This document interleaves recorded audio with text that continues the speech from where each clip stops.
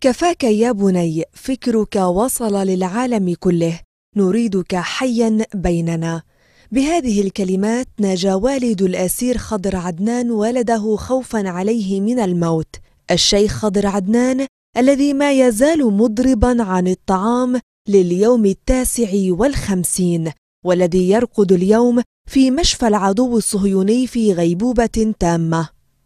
رسالة الشيخ خضر عدنان وصلت حرفا حرفا إلى كل الجماهير فهبوا من مختلف الجهات والمؤسسات من أجل الاعتصام والتضامن مع أسير الكرامة وغيره من إخوانه الأسرى القابعين وراء قضبان الاحتلال. الأسير خضر عدنان مش لوحده كلنا خضر عدنان كلنا إميات خضر عدنان كل أسير في سجون الاحتلال معرض لهذا اللي تعرض له خضر عدنان. نتأمل نتمنى من الله إن شاء الله الإفراج العاجل له ولكل باقي الأسرى. الهجمه الشرسه اللي بيقوم بها المحتل ضد أبناء شعبنا خاصة في الاسر وكل وكل أو على كل فئات الشعب الفلسطيني وأرضه ومقدساته.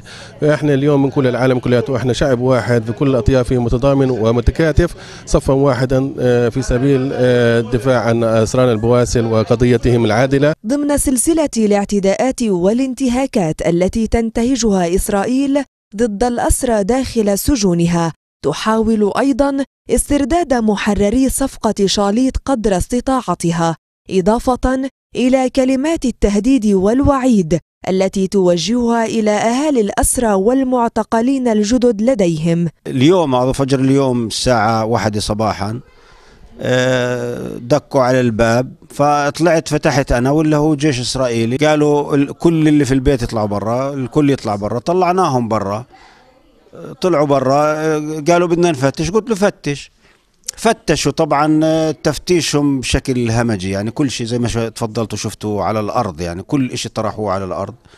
وبعد ما خلصوا تفتيش يمكن تقريبا الساعة أربعة صباحا. من الواحد للأربعة استمروا. أخذوني برا قالوا لي حج بدك توفر على حالك. قلت له شو المطلوب؟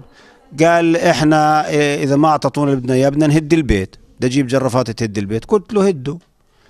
قال أقول لك بدنا نخلع البلاط تبع البيت. قلت له اخلعوا.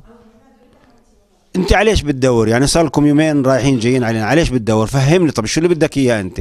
قال بدنا السلاح اللي عندكم. قلت له أنا ما عندي سلاح. خربوا الدنيا وعكسوا الدنيا وما وحطوا اولادي هون وحطوا الحج معاهم وحجزوهم بالغرفة. ما خلوهم يطلعوا. إحنا حطونا بغرفة فوق شفتيها البنات كمان. فاتوا عادي وعاملين حالهم غير شيء شوي ما لقينا يعني الكلب فايت معاهم فوتوه على كل الغرف. وأنا شفت أولاد ابني وبنات صاروا يصرخوا. صرت يعني هبيت بالضابط. بقول له يعني ما بصيرش هذا الحكي. موتوهم خوف لهالولاد كما شو زتني يعني لهيك على رجلي دبيت بالأرض أنا. وساعتها أنا حسيت بالنخزه شيء وهيك. وهن نسعوا الجيش عندي بالبيت ويعني وقايمين وموعين الدنيا. دغري حملوني على المستشفى يعني وأخذوني كرامة أبناء الشعب الفلسطيني أغلى من الطعام، وحياة الأسرى العظماء لا تذهب هباء، كلمات سيسطرها التاريخ في صفحات النضال والثورة ضد كل محتل غاصب. وفاء زيدان، تلفزيون الفجر الجديد، طول كرم.